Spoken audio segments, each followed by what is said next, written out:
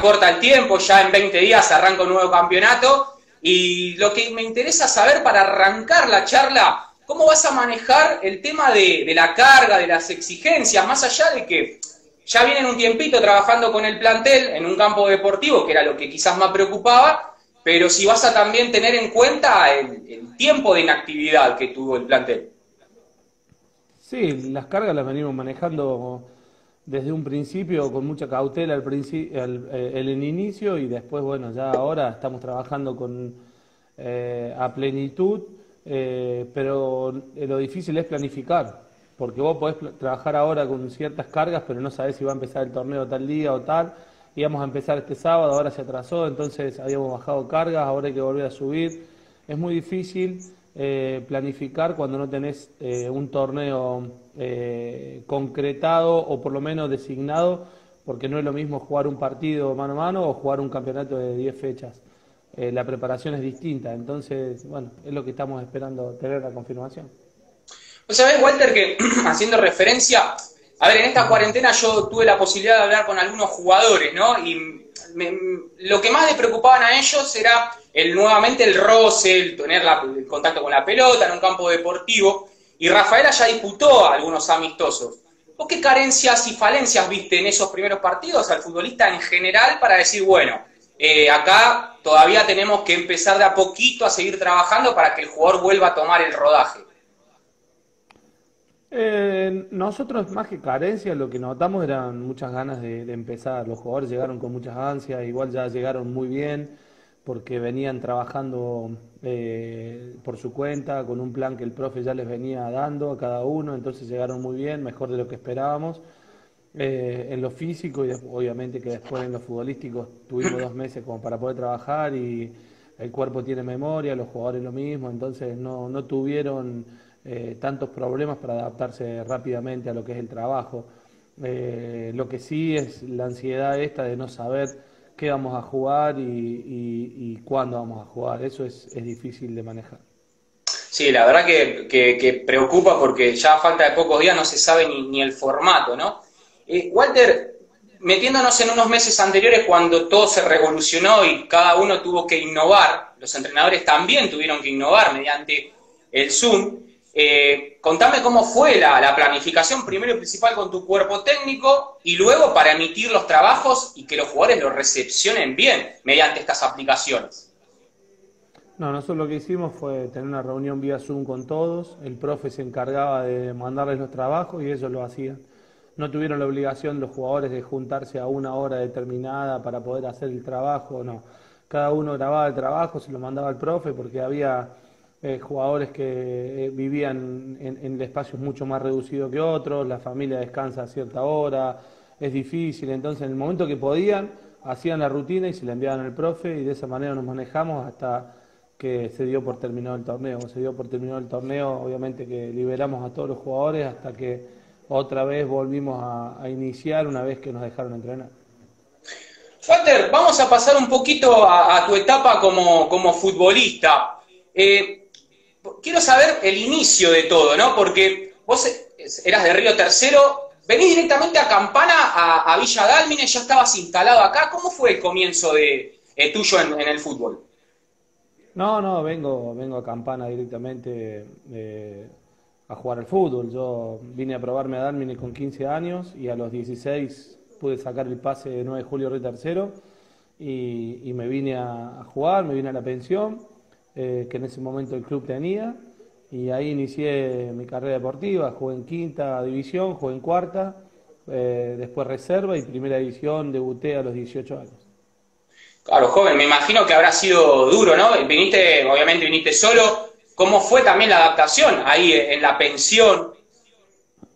Bueno, muy difícil al principio porque extrañaba muchísimo eh, y se me hizo muy, muy difícil la distancia. Yo dejé muchísimas cosas en ese momento, mis amigos, mi familia, mi mamá, mi hermano, mis tíos, primos, todos mis amigos. Eh, dejé todo por, por, venir a jugar al fútbol. Y, bueno, al principio es muy duro. Tuve la suerte de tener todos chicos eh, que, me, ayudaron mucho, gente más grande que yo, la mayoría ya jugando en, el plantel profesional, teniendo contrato. Entonces, me ayudaron mucho a mí y, fueron muy bondadosos conmigo en el sentido de que, bueno, yo económicamente no podía, mi mamá no me podía mandar plata y ellos me ayudaron mucho.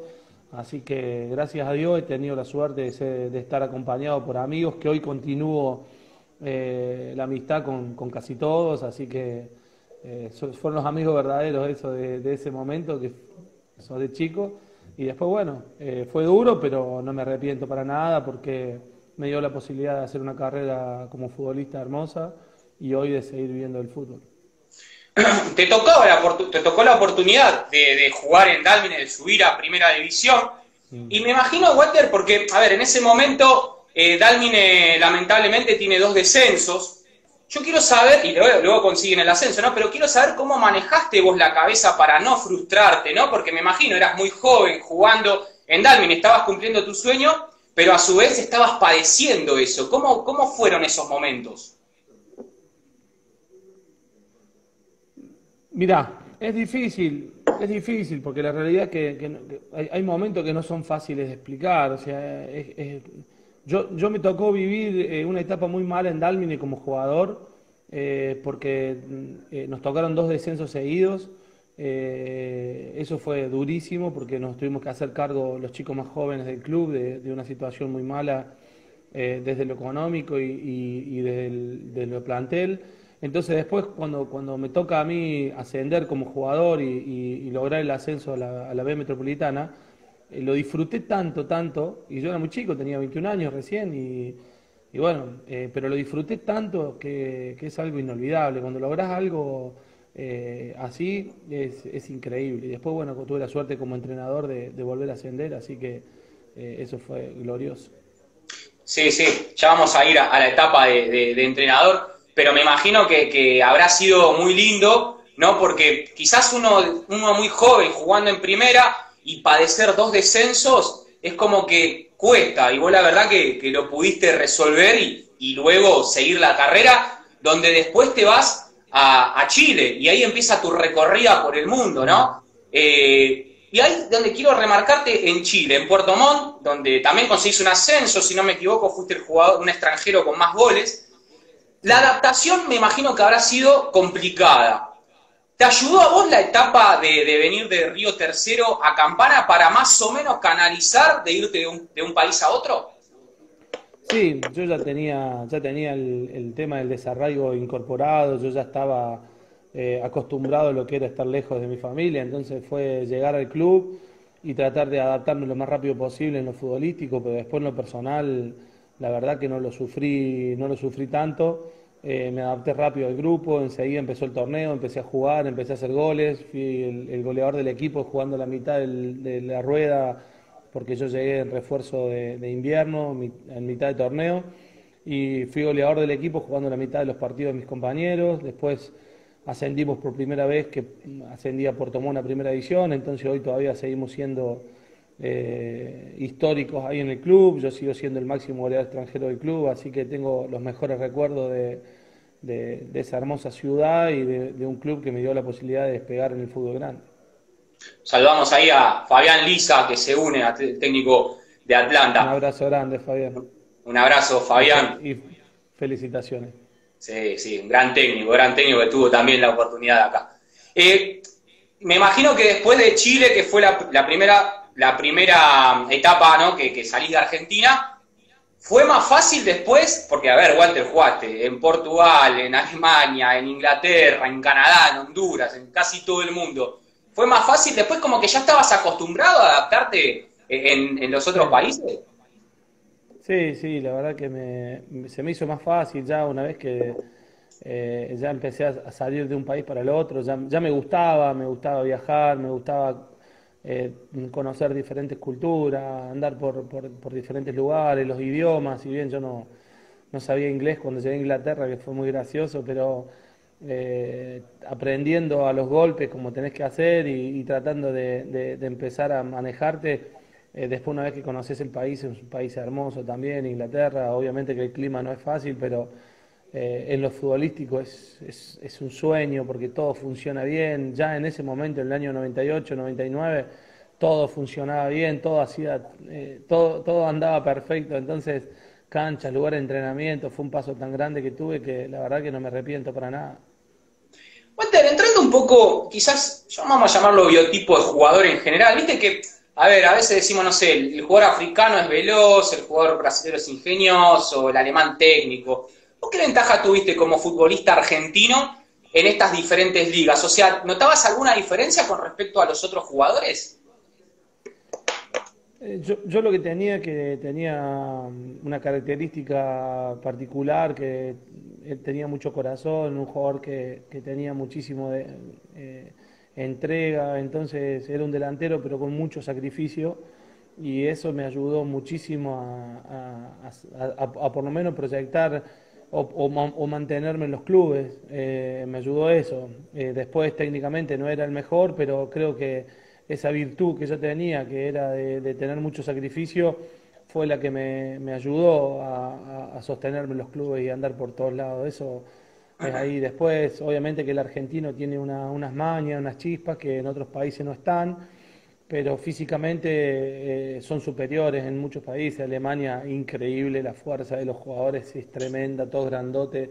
Unos, unos animales en Inglaterra también todos fuertes, venían unos africanos que volaban, Ah. Eh, la verdad que sí, es, difícil, pero bueno, el argentino siempre se las rebusca. Obvio. En, en cada equipo hay, hay siempre un, argentino. Walter, casi 10 años anduviste por todo el mundo, volvés al fútbol argentino. Quizás aquí entramos en un poco de la evolución del fútbol. ¿Con qué fútbol argentino te encontraste? O sea, ¿con qué ascenso te encontraste después de, aquel de los 90? Y fue muy duro porque, bueno, yo venía de Alemania, del Fortuna Düsseldorf, que es un equipo tremendamente grande, que es una locura, que un estadio eh, climatizado y se cierra para cuando cae nieve y todo se cierra para jugar con el afeccionado. Entonces vos venís de ahí y venís otra vez a, a Dalmi en ese momento que estaba en la C y con muchos problemas.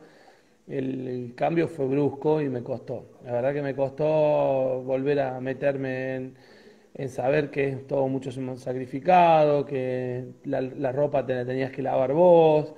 Eh, vine gratis porque la verdad que no, cobraba nada. Me acuerdo que me daban un vale para, para una empresa, para, para la Quilmes, y, yo había puesto un, un, mini, mini, mercado, entonces eh, cobraba con eso, pero bueno, lo hacía prácticamente gratis y, ya estaba haciendo el curso de técnico, entonces lo hice como para retirarme en Dalmine, que fue el sueño frustrado que me quedó, no poder retirarme en, mi club, en mi ciudad, porque más allá de que no nací ahí y que soy de Río Tercero y muy orgulloso, eh, esa ciudad me adaptó muchísimo y, bueno, nada, lamentablemente no me pude retirar en el club, pero bueno, eh, es algo que me va a quedar para toda la vida. No, bueno, está bien, pero después con lo que le diste fue, fue, fue algo, algo hermoso. Y a nivel general, ¿cómo notabas vos el, cambio o la evolución del fútbol, ¿no? Eh, en, cuanto a lo técnico, quizás en lo físico, ¿hubo grandes cambios? Sí, todavía acá estábamos un poco eh, atrasados en, todo lo que era, eh, sobre todo en lo físico, en los testeos. Eh, allá ya te testeaban siempre en cuanto al rendimiento, vos ya sabías ya, eh, a veces en el entretiempo te pinchaban el dedo y sabían si estabas con, como, como para seguir o no, cosas que yo viví que acá no, no todavía en el ascenso no, ni, cerca, ya te digo. Eh, fue un cambio muy grande el club donde yo terminé de jugar en Europa a volver a la C en Dalby en este momento. Pero bueno, no, no me arrepiento para nada, fueron una temporada eh, dos temporadas hermosas que pasé de nuevo en Dalmine y, después, bueno, me tocó irme a Barracas Bolívar y estuve seis meses ahí, que, la verdad que la pasé muy bien, increíblemente. Bolívar es una ciudad preciosa y me retiré en Fénix los últimos seis meses, eh, que ahí conocí a Félix Benito, que hoy es el, compañero de, ruta. De ruta. Bueno, bien lo dijiste vos, Walter, te retirás en Fénix y ¿Vos iniciás tu carrera como entrenador en, en Sportivo La Fuerina, en el, Federal, puede ser? Sí, sí, dirijo el, Federal C, que era la, primera vez que un equipo de, la Liga de Campana se, se podía, había clasificaba a la segunda fase. Así que también ahí hicimos historia inolvidable también, porque los chicos, bueno, laburaban todos, tenían que acomodar los entrenamientos y los, momentos para, para poder juntar a todos, los, a todos los jugadores y la verdad que haber clasificado fue, fue una locura, fue un sueño. Claro, y, también para vos es como, fue como una especie de, de fogueo. O sea, ¿qué aprendizaje vos agarraste o qué herramientas eh, agarraste ahí en Esportivo La Fueguina para incorporarlos y después trasladarlos a, tu carrera? Bueno, ahí em, empezar, lo, que es más difícil es pararte al frente de un grupo. Yo creo que a mí lo que me ayudó mucho fue haber dirigido la Liga Intercountry mucho tiempo. Eh, yo dirigí mucho la Liga Intercountry, dirigí los Castores de Nordelta y un barrio hermoso también, con muchos amigos que tengo todavía ahora, fueron 10 años increíbles, pero también eso me ayudó mucho porque es gente importante que maneja muchas empresas, que son eh, gente muy importante y vos tenés que decirle y pararte enfrente, hablar fluido, hablar bien, darle indicaciones. Todo eso me ayudó, me ayudó muchísimo al día que me tocó dirigir por primera vez Dalmine, que nos juntamos con Feli y decidimos agarrar eh, creo que ya nos agarró más preparado y con Félix, que ya había tenido una experiencia de dirigir él en Fénix, creo que hicimos una dupla muy buena. Qué interesante igual eso, escucharlo, ¿no? De, lo que te dio tan buen la Liga Intercountry, ¿no? De hablar fluido, que es importantísimo a la hora de pararte eh, en un grupo, ¿no? Qué, qué, interesante lo, lo, que decís, Walter. Sí, hoy eh, los jugadores pasan tantos entrenadores por los jugadores que el jugador ya te conoce ni bien te, escucha hablar, sabe si sos bueno, si no sos bueno, si sabes de qué hablar, si sanateás, enseguida se dan cuenta, entonces creo que a mí me ayudó muchísimo eso, eh, me preparó eh, para la carrera que después eh, me vino y que la, las que estamos teniendo ahora. Llegás nuevamente, regresás a Dalmin en otra faceta, ya como entrenador, donde tuvieron una temporada regular y luego consiguen ese ascenso peleando ahí con, con la Guay, campeonato extraordinario. Yo lo que me interesa saber, Walter, es cómo el entrenador, cómo convence a los futbolistas, cómo convence al futbolista de que puede dar el máximo, de que se puede conseguir el objetivo, de que confíen en, él para, para lograrlo. El futbolista se convence si vos le demostrás que sos capaz. Eh, cuando vos le demostrás que sos capaz, el futbolista empieza a creer. Después tenés que ser eh, consecuente con lo que decís, eh, tratar de ser lo más justo posible. En el fútbol, más allá de que las, injusticias eh, están, porque vos tenés que decidir sobre 11 eh, que arrancan y, el resto siempre va a estar un poco mal o va a estar molesto. bueno, siempre está eso, pero vos tenés que tomar decisiones, para eso sos el entrenador. Y después, lo que sí tratamos de hacer nosotros, siempre estar encima del que nos juega eh, convencer desde ese lugar. Cuando vos convences al que no juega, que sume más allá de estar fastidioso, eh, está encaminado un poco la cuestión. Y creo que el éxito que tuvimos en Dalmine y en, bueno, en todos los clubes que hemos estado, la verdad que la mayoría de los planteles que hemos armado han sido grupos muy buenos y que hoy todavía, eh, con alguna excepción de por medio, podemos llamar a todos los jugadores que han estado con nosotros y podemos hablar y seguramente tenemos lindos recuerdos. Eso, es interesante. Saludamos ahí a Benito también que se, que se unió. Walter, vos sabés que la otra vez eh, hablaba con, el Chimi Blengio, ¿no? Y él me, hacía referencia a que a los chicos de inferiores les, decía que valoren las instalaciones, que valoren la fruta después de entrenar, ¿no? Porque remarcaba que cuando él era jugador, cuando él era, estaba en las inferiores, no tenían ni ducha caliente. Y eso me pareció interesante escucharlo, ¿no? Porque yo creo que ya el ser humano donde está cómodo puede rendir el máximo. ¿A vos te pasó algo similar en Dalmine cuando vos eras futbolista a, ser director técnico? ¿Había muchas diferencias? Sí, eh, al principio cuando me tocó debutar en, en, Dalmine, cuando todavía la fábrica se hacía cargo del club, allá por el año 91-92, eh, el club estaba muy bien. Después cuando la fábrica le soltó la mano eh, empezamos a tener problemas, por eso los descensos y, y todo eso que vivimos. Y después cuando volvimos al club, el club estaba mal. La verdad que estaba mal desde lo económico, nada, pero hoy una gestión de, del Pato Milano que nos ayudó muchísimo, él nos lleva al club y entre, entre todos empezó a crecer. Y cuando nos quisimos acordar ya teníamos eh, no solamente las tribunas que se las estaban desarmando para llevárselas, las teníamos en vez de madera de cemento, en la cancha en vez de, regar con una manguera se le puso el riego, las luces no andaban, se arreglaron la iluminación y podíamos jugar de noche, vino el ascenso y todas esas cosas, creo que el club empezó a crecer de una manera increíble eh, y que obviamente que los resultados acompañan y a partir de ahí el club crece. Y bueno, hoy Dalmin es, es una institución eh, seria, modelo, donde con poco siempre termina siendo mucho y bueno, contento de haber sido parte de esa historia.